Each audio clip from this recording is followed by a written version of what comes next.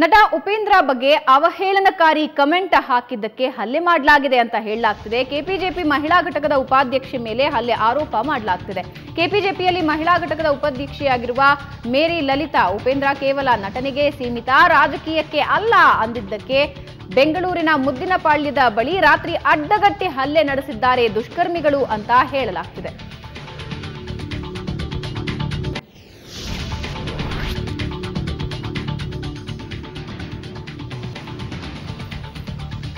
KPJP ಮಹಿಳಾ ಘಟಕದ ಉಪಾಧ್ಯಕ್ಷೆ ಮೇಲೆ ಹಲ್ಲೆ ಮಾಡಿರುವ ಆರೋಪ ಈಗ ಕೇಳಿ ಬರ್ತಾ ಇದ್ದು, ಮೇರಿ ಲಲಿತಾ ಉಪೇಂದ್ರ ಕೇವಲ ನಟನೆಗಷ್ಟೇ ಸೀಮಿತ, ರಾಜಕೀಯಕ್ಕೆ ಅಲ್ಲ ಅಂತ ಹೇಳಿದ್ದಾರೆ.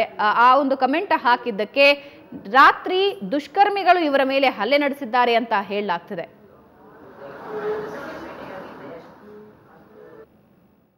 ನಿನ್ನೆ ರಾತ್ರಿ ಮುದ್ದಿನಪಾಳ್ಯ ರಸ್ತೆನಲ್ಲಿ ಬರಬೇಕಾದ್ರೆ ಕಾರಲ್ಲಿ ಬರ್ತಾ ಇದೆ. ಕಾರ್ಗೆ ಅಡ್ಡ ಹಾಕಿದ್ರು. ಇಬ್ರು ಅಡ್ಡ ಹಾಕಿದ ತಕ್ಷಣ ನಾನೆಲ್ಲೋ ನನ್ನ ಪರಿಚಯ ಇರೋರೇನೋ ಅನ್ಕೊಂಡ್ಬಿಟ್ಟೆ. ಸ್ವಲ್ಪ ನಿಲ್ಸಪ್ಪ ಅಂತ ಹೇಳಿ ನಾನೇ ಕೆಳಗಡೆ ಇಳಿದೆ ಇಳಿಯೋಷ್ಟೊಳಗಡೆ ಏನು, ಉಪೇಂದ್ರ ಸರ್ನ ನೀನು ಅಷ್ಟೊಂದು ಬೈಯೋದು? ಹಿತೇಶ್ ಅವ್ರಿಗೆ ಏನಂತ ಬೈತೀಯ ನೀನು? ಏನು ಹೇಳ್ತೀಯ ನೀನು? ಅಂತ ಹೇಳಿ. ಹಿತೇಶ್ ಬಗ್ಗೆ ನಂಗೇನು ಗೊತ್ತಿಲ್ಲ. ನಾನಂದ್ರೆ ಒಂದು ಉಪೇಂದ್ರ ಅವರು ಒಂದು ಒಳ್ಳೆ ಕೆಲಸ ಮಾಡ್ತಾರೆ ಅಂತ ಹೇಳಿ ಹೋದಂಥವಳು ಕಡೆಗೆ ಅವ್ರು ರಾಜಕೀಯ ಅಸ್ತವ್ಯಸ್ತ ಮಾಡಿದ್ರು.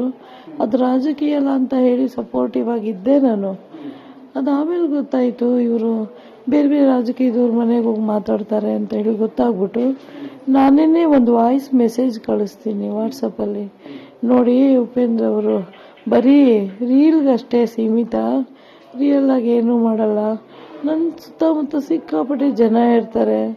ಅವರೆಲ್ಲ ನನ್ನ ಮಾತು ಕೇಳಿಕೊಂಡು ಒಂದು ರಾಜ ಎಸ್, ಈ ಬಗ್ಗೆ ಇನ್ನಷ್ಟು ಮಾಹಿತಿ ನೀಡ್ತಾರೆ ನಮ್ಮ ಪ್ರತಿನಿಧಿ ಚೇತನ್. ಚೇತನ್, ಮೇರಿ, ಲಲಿತಾ ಈಗ ಪ್ರಮುಖವಾಗಿ ತಾನು ಮಾಡಿದಂತಹ ಕಮೆಂಟ್ನಿಂದಾಗಿ ಈ ರೀತಿ ಅಟ್ಯಾಕ್ ಮಾಡಿದ್ದಾರೆ ಅಂತ ಹೇಳಲಾಗ್ತಾ ಇದೆ. ಅದು ಸತ್ಯವ ಜೊತೆಗೆ ಯಾರ ದುಷ್ಕರ್ಮಿಗಳು ಅನ್ನೋದ್ರ ಬಗ್ಗೆ ಏನಾದರೂ ಮಾಹಿತಿ ಸಿಗ್ತಾ ಇದೆಯಾ?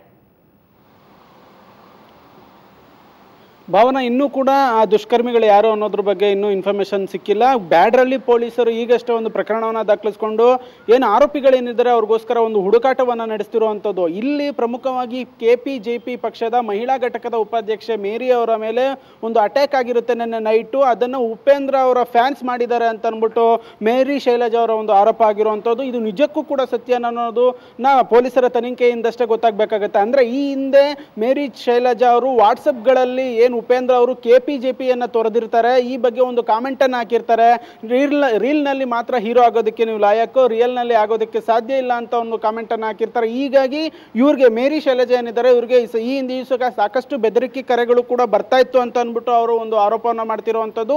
ನೆನ್ನೆಯೂ ಸಹ ಅವರು ಏನು ಎನ್ ಜಿ ಒ ಏನು ತಾವರೆಕೆರೆ ಬಳಿ ಎನ್ ಜಿ ಒವನ್ನು ಇಟ್ಕೊಂಡಿರ್ತಾರೆ ಒಂದು ಆಶ್ರಮವನ್ನು. ಆಶ್ರಮದಿಂದ ಮುದ್ದಿನಪಾಳ್ಯದ ಕಡೆ ಹೋಗ್ಬೇಕಂದ್ರೆ ಓಲಾ ಕ್ಯಾಬ್ನಲ್ಲಿ ಹೋಗ್ಬೇಕಂದ್ರೆ ಮುದ್ದಿನಪಾಳ್ಯ ಬಳಿ ಏನು ಆಂಜನೇಯ ಟೆಂಪಲ್ ಏನಿದೆ, ಆ ದೇವಸ್ಥಾನದ ಬಳಿ ಬಂದಂಥ ಸಂದರ್ಭದಲ್ಲಿ ಉಪೇಂದ್ರದ ಫ್ಯಾನ್ಸ್ ಇಬ್ರು ಅಟ್ಯಾಕ್ ಮಾಡ್ತಾರೆ ಅಂತ ಅಂದ್ಬಿಟ್ಟು ಇವರು ಒಂದು ಆರೋಪ ಆಗಿರುವಂಥದ್ದು. ಈ ವೇಳೆ ಓಲಾ ಕ್ಯಾಬ್ ಡ್ರೈವರ್ ನನ್ನ ಕಾಪಾಡ್ದ.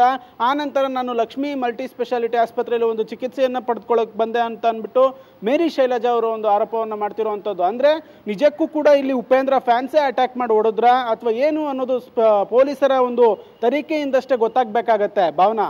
ಎಸ್ ಧನ್ಯವಾದ ಚೇತನ್. ನಿಮ್ಮೆಲ್ಲ ಮಾಹಿತಿಗೆ